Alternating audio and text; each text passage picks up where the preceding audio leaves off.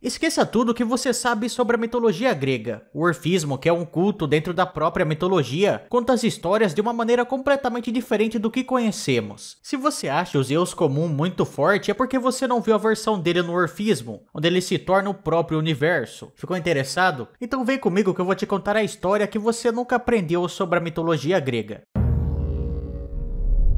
Se você for novo no canal, se inscreve aí, deixa seu like também, porque isso me anima muito para continuar fazendo os vídeos, beleza? Se você puder me ajudar ainda mais, usa o botão valeu que tá aí embaixo em formato de coraçãozinho e você pode me doar qualquer quantia com ele. E também você pode se tornar membro do canal, que aí você tem acesso antecipado aos vídeos e ao Discord do canal. E lembrando vocês que as fontes que eu utilizei para fazer o vídeo vão estar na descrição.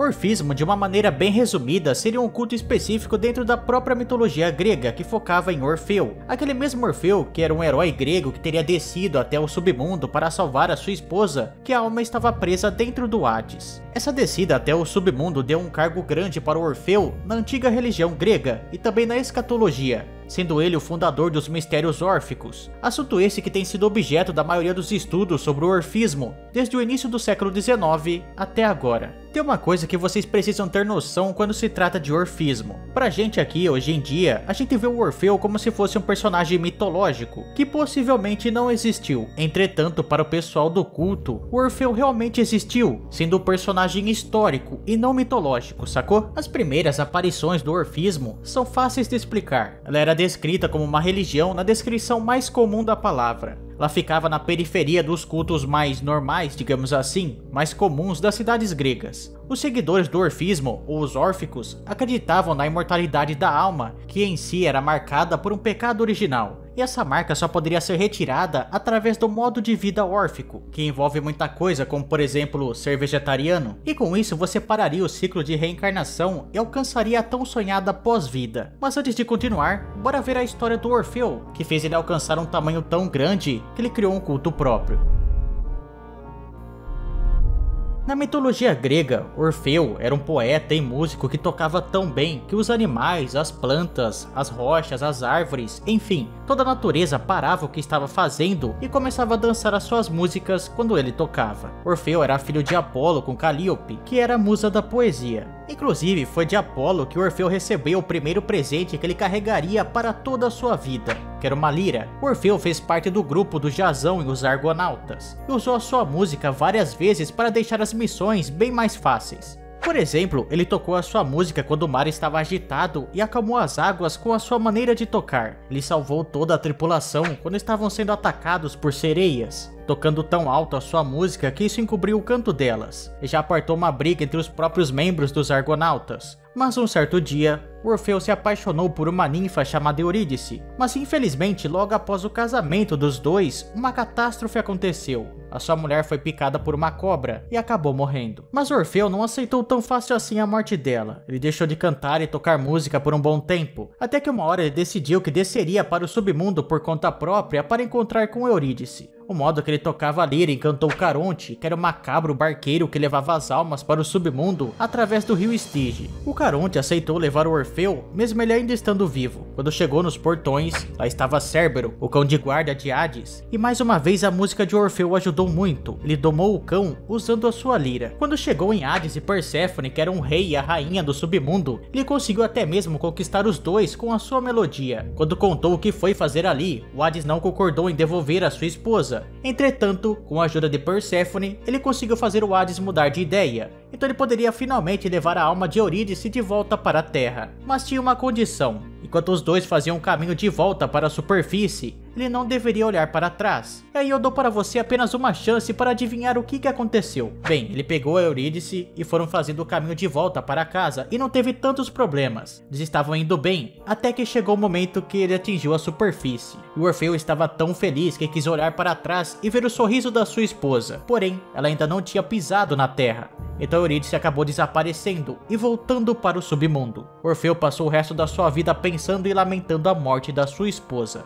Bem, mas um certo dia, essa dor do Orfeu acabou irritando as Bacantes, que era um grupo de mulheres que adoravam o deus Dioniso. E como viram que o Orfeu não atendia ao pedido delas, elas atacaram ele e rasgaram o Orfeu em pedaços. As musas recolheram todos os pedaços de seu corpo e os enterraram. Mas as Bacantes pegaram a lira e a cabeça dele e jogaram no rio Ebros. A lira continuava tocando e a cabeça continuava cantando. Os dois foram descendo o mar até chegar na ilha de Lesbos. A cabeça se tornou o oráculo que competia até mesmo com outro oráculo que era o do pai do Orfeu, o de Apolo, que ficava em Delfos. A Líria acabou se transformando em uma incrível constelação nos céus, a desejo dos próprios deuses. E essa é a triste história do Orfeu.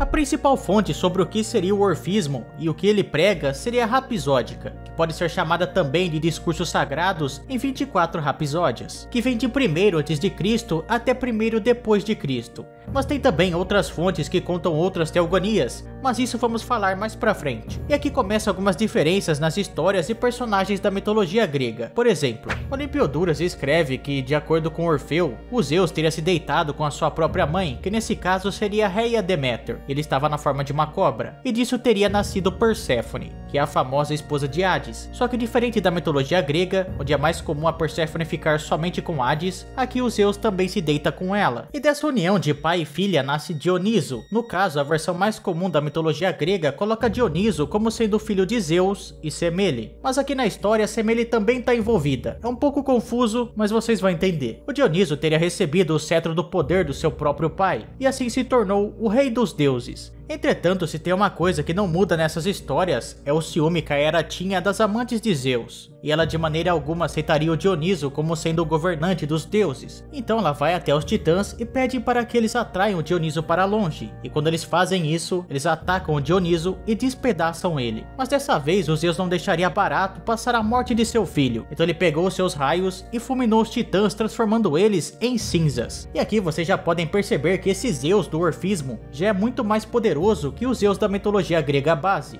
porque ele simplesmente matou os titãs. E lá na versão de Exildo na Titanomaquia, quando ele faz praticamente a mesma coisa, ele não consegue matar eles, apenas consegue cegar eles momentaneamente e causar uma tremenda tempestade. Depois de tudo o que aconteceu, Atena foi até o local e pegou o coração de Dioniso, do qual os Zeus conseguiu ressuscitar ele depois. E da cinza dos titãs, os Zeus criou a humanidade. E o Dioniso, em algumas versões das histórias, recebe o nome de Zagreu, que você deve reconhecer do jogo Hades. No caso, Dioniso teria duas duas mães, e quando ele nasce de Perséfone, ele se chama Zagreu. E segundo essas outras versões, depois que ele morre, ele acaba voltando algumas vezes, e na última delas, que ele é filho de Semele, ele se chama Dioniso mesmo, e é daí que se inicia as histórias do Orfeu. O Dioniso seria a última geração órfica, herdando todo o poder de Zeus.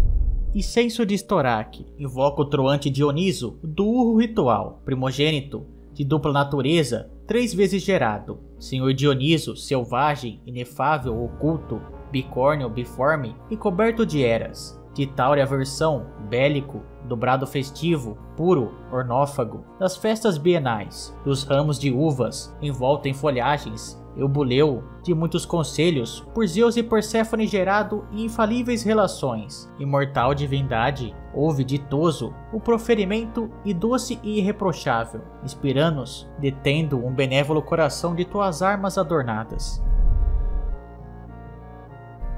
A mitologia grega mais base usa a teogonia de Exildo para explicar a origem de todo o universo, a origem dos deuses e tudo mais. Eu não vou me aprofundar muito nela, mas em resumo, tudo começa com o caos, e dele surgem os deuses primordiais, que são a Gaia, o Tártaro, Nix, Érobo, e em alguns casos o Eros também, que é o deus do amor. A Gaia gera o Urano, e juntos eles têm os titãs, e também alguns outros monstros. E no meio desses titãs tem o Cronos, que acaba derrotando o Urano, que também tem os seus filhos, e é derrotado por Zeus e seus irmãos. Em resumo, é bem isso. Mas quando se trata de orfismo, complica um pouco. Cronologicamente falando, o corpo das histórias pode ser dividido de duas maneiras: as obras iniciais, onde tem apenas algumas partes e testemunhos, e as obras mais tardias. Mas aqui vamos focar nas obras iniciais, já que elas tratam das teogonias. A que eu vou falar aqui para vocês são três teogonias. Na verdade, seriam quatro, né? Mas a quarta não é bem uma teogonia, como vocês vão ver. A primeira é do neoplatônico Damásio, a teogonia de Eudemo, que vem do século 4 4 a.C. Tem também a Teogonia de Eurônimo e Helânico, do século 2 a.C.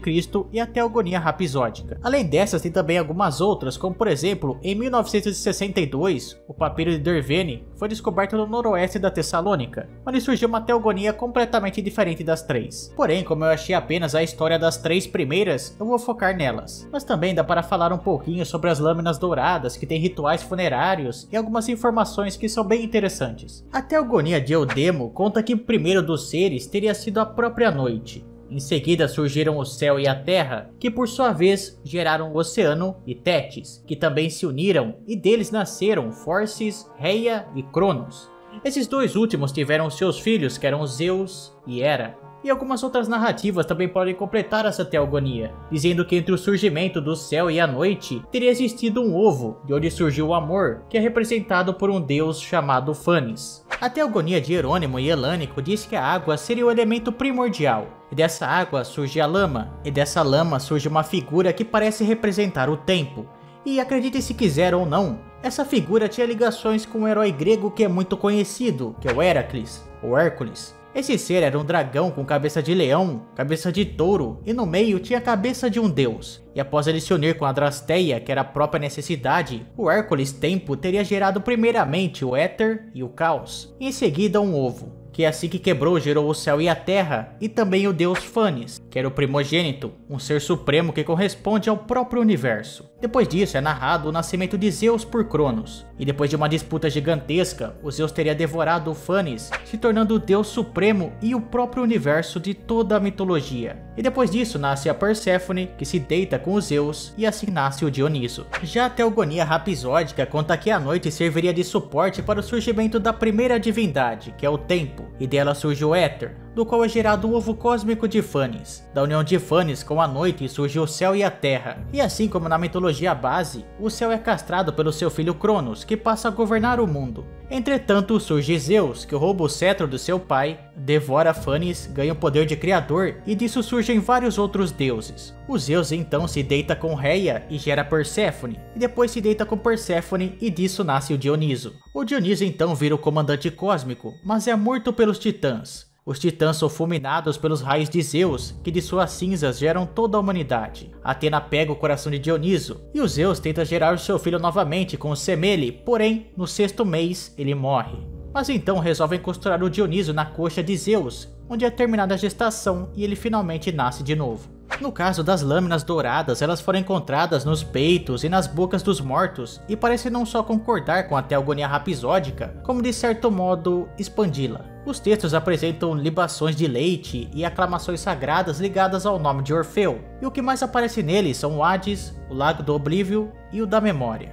Ao chegar no Hades, a alma deveria se apresentar aos guardiões ou a Perséfone, dizendo ser filho do céu e da terra que foi libertado por Dioniso. E eu não achei nada mais do que isso de interessante nessas lâminas. Bem galera, o vídeo foi esse, eu espero que vocês tenham gostado. Não esqueça de avaliar o vídeo deixando like ou dislike, se inscrever no canal deixar aí nos comentários algum assunto para um próximo vídeo, hein? Valeu!